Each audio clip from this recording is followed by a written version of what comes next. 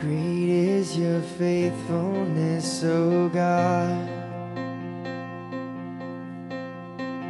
You wrestle with the sinner's restless heart. You lead us by still waters into mercy.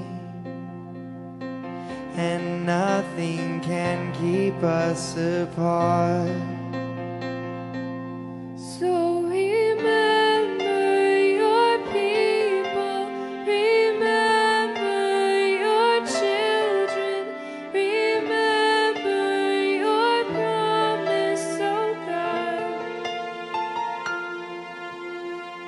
Your grace is enough, your grace is enough, your grace is enough